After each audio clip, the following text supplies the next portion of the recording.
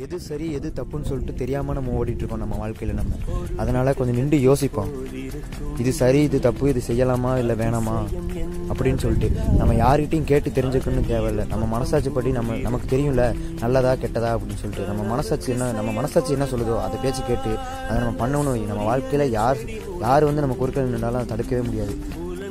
இதுவரை நெஞ்சில் இருக்கும் சில துன்பங்களை நாம் மறப்போம்.